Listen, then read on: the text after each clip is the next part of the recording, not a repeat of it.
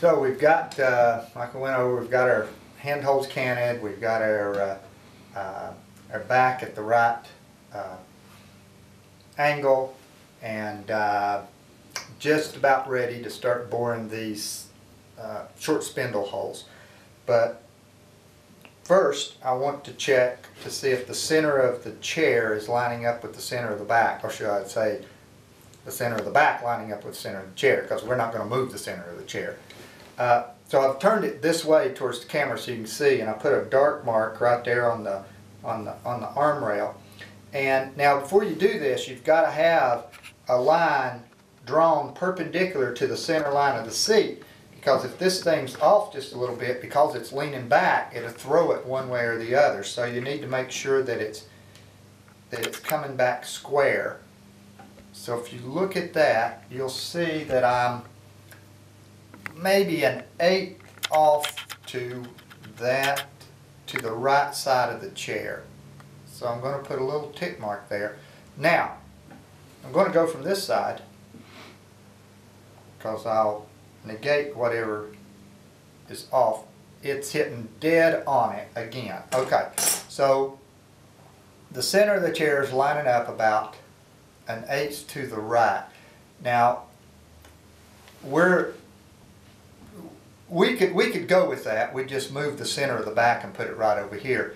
But you're going to see that I've still got uh, uh, a couple of chances to be able to swing that back over just a little bit, and I'll show you when we uh, when we get there. But it's good to know where it is right now before I start. Right, so uh, set up to to bore these, I need to uh, lay them out first. Here's our dummy here. We're going to put the dummy back here to support it, and uh, this has got just the right drop on it. It's about a, a 30 second lower than that dummy, which means that I just it'll put a little bit of pressure on it and hold it hold it in place. It won't be flopping around with me. Uh, now for these spindles, I put the first one at four inches, and I'm gonna mark with this ink pen so you can see it. I put the first one at four inches from the arm support, and the next one at three inches. And the reason for that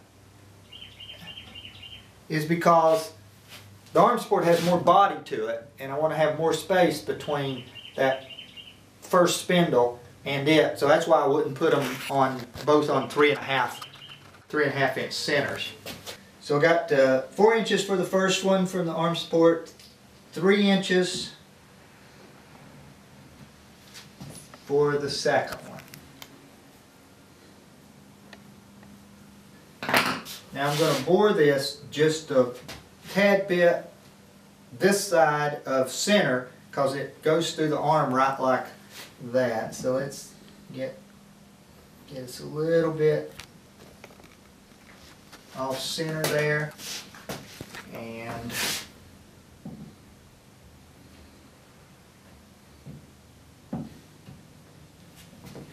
thing's rocking with me, kind of drives me nuts when it does that.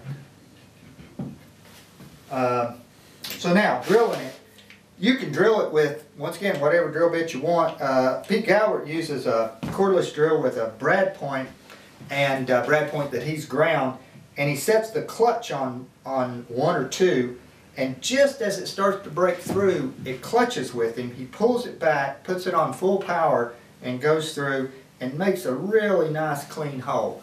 I'd like to get as clean a hole as that. It's, it's really nice, but I'm not going to use a, cordless drill, so I like to use my bit brace. Uh, so I'm going to use an auger bit on this.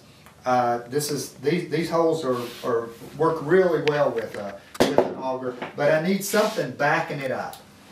Uh, so I got a little piece of uh, softer wood, sassafras is what that just happens to be anything will work. And now as a bore right down there, let me put a dot down there, that's where that spindle is. That's where the other one is. And that's what I'm going to be looking at, is that right there. Okay?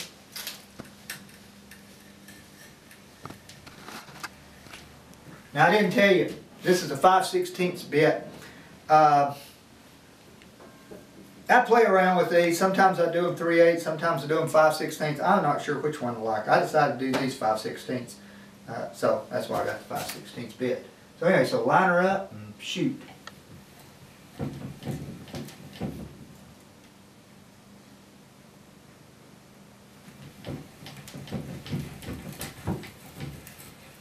Okay, I felt that go through because it went into the softer wood. Come on out of there. And now we'll change it to right back here.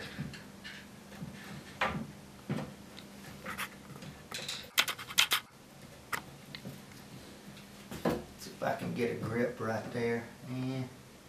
I don't know. That'll work. Okay.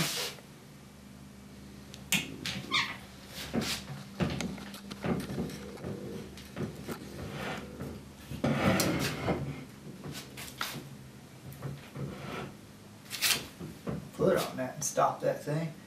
Let's sight down the bit.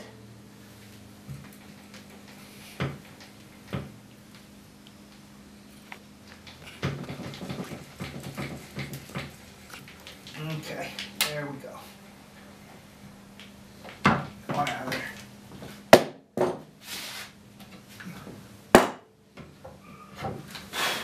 So typically I'd switch it around and do the other side and then I'll bore these holes.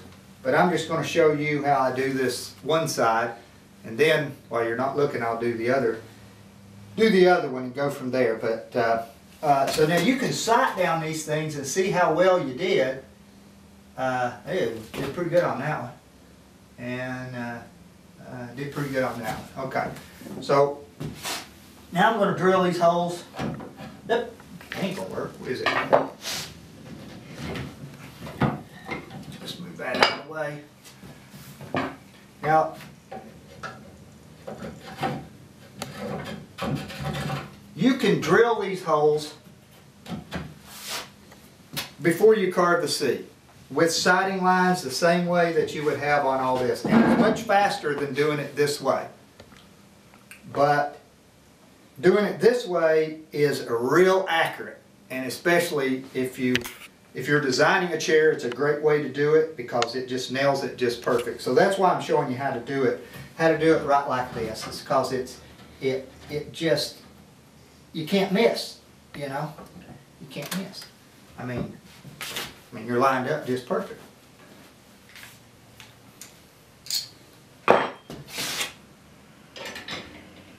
Takes a little more time, but you know, I don't care.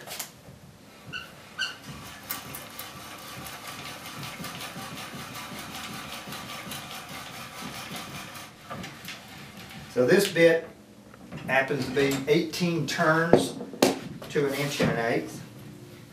And uh, come on out of there.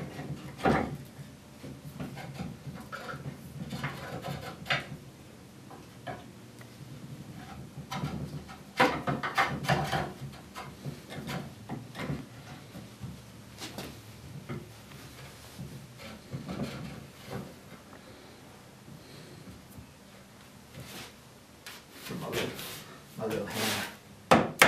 There we go.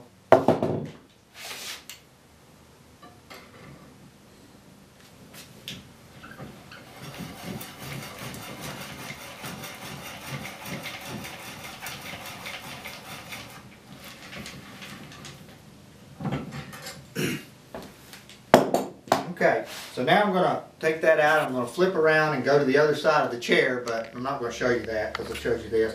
And the next time we come back, I'll be putting the spindles in there. So we got the holes drilled on both sides, got the holes in the arm rail drilled on both sides, and got the holes in the seat drilled on both sides. Uh, I like to shoulder these spindles on the on the, the, the comb back and a sack back where you have the arm rail coming through. It's not as important as something like a continuous arm where uh, where the arm can drop a little bit because these spindles right here can hold up this arm rail. But I still like to to, to shoulder them. It make, makes for a nice job, and it only takes just a few seconds to do that. And uh, So get a measurement there, make sure I didn't move that.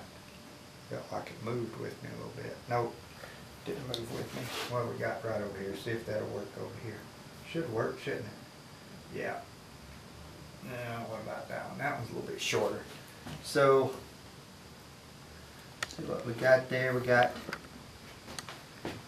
uh, we got nine, and then we add an inch for the uh, tenon. So we got ten inches for those right there. And now let's get this one right here. And see if this one's the same. Yeah, it's close enough, about a thirty second maybe. Let's see what that is. That's uh, eight and thirteen, so nine and thirteen sixteenths. Okay. So now, let me get my cutter. Where's my cutter? There it is. Cutter right there. Now I'm gonna look at my spindles, and one advantage to uh, whittling the spindles, as opposed to turning these short ones, is that they have, they're not straight, because they follow the long wood fibers.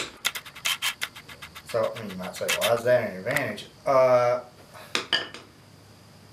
so I put the two that are the most crooked out here, and they're going to be put in this second hole back here. And I'll show you, show you why here just a minute. Um, so let's see.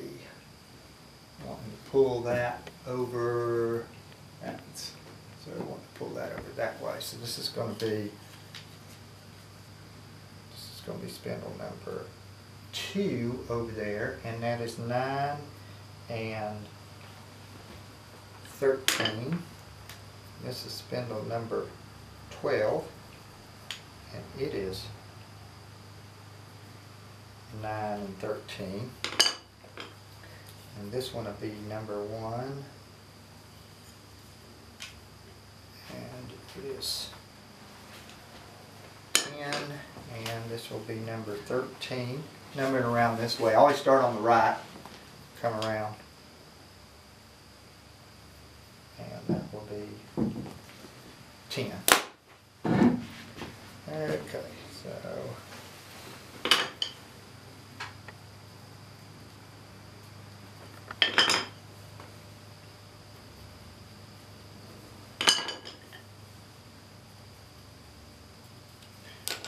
Put on my, put on my blue grippy glove here.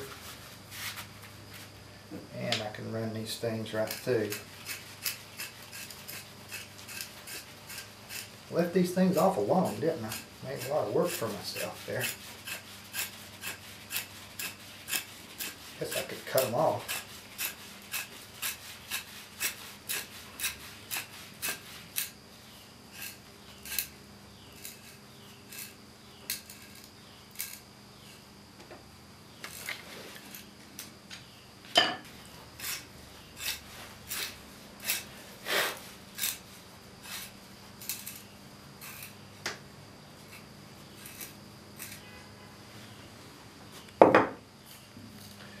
Okay, so I have a slight little shoulder on them now, but I'm going to clean that up uh, with the spoke shave and then we'll come back.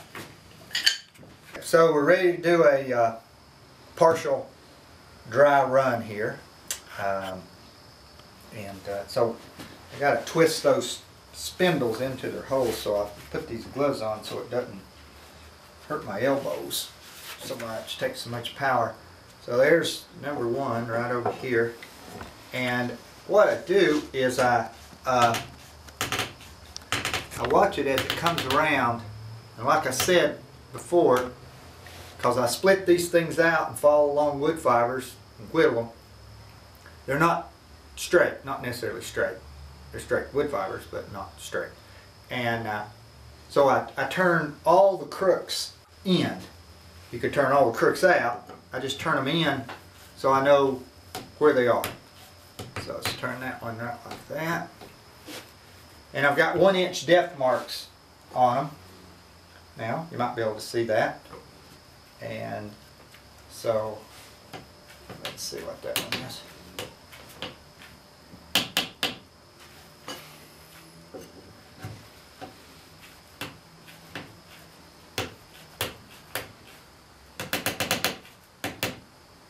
Okay. Now, slide the back on. Right like this.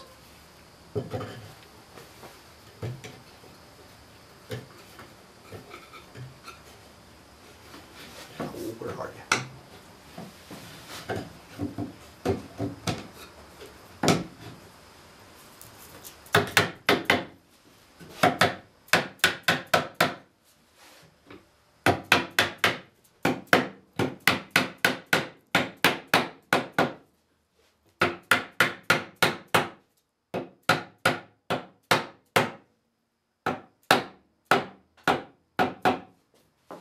Okay, so that's down. Of course, it hit those shoulders right there and stopped.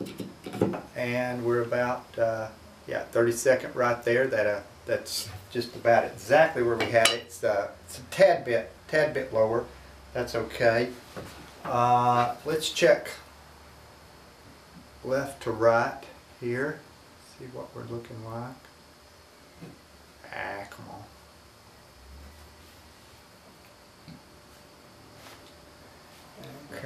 This one could go down just a go a little bit more. Yeah, I believe it went, sitting right on that shoulder, but there it goes. It's okay. So those are even. Now we're going to check our uh, square for the center. So I'm going to turn it around to you so you can so you can see that and uh, set our square on it. See where it's hitting. And pretty much hitting just exactly where it was before we put those short spindles in there. Uh, so it might even be just a hair bit further, but let's say about an eighth of an inch. The center is about an eighth of an inch that way.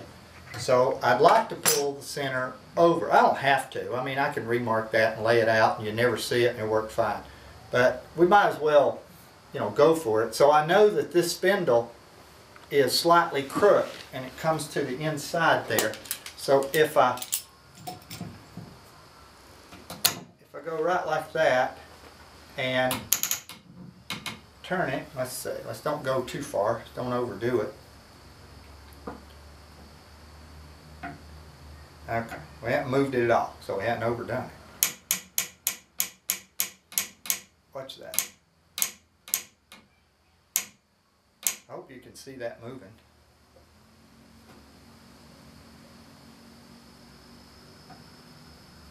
So we got about,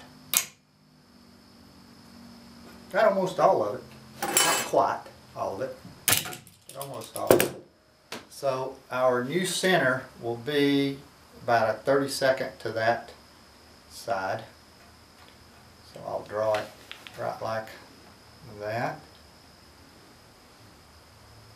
And now our short spindles have orientation. So they have to go back in the exact same way. So I've already got numbers on them, so I know where they go there. And now they have a V mark for the orientation. And hopefully if they go right back in there the exact same way, then the back will line up exactly where it is. So uh, that's good. We're finished with that. Next thing we're going to do is uh, going to lay out our long spindles from the center out and bore those. I'll be boring those exactly the way that I bored these, just sliding down at these holes. And then I'll be threading the uh, extension back up through there and boring holes in the seat.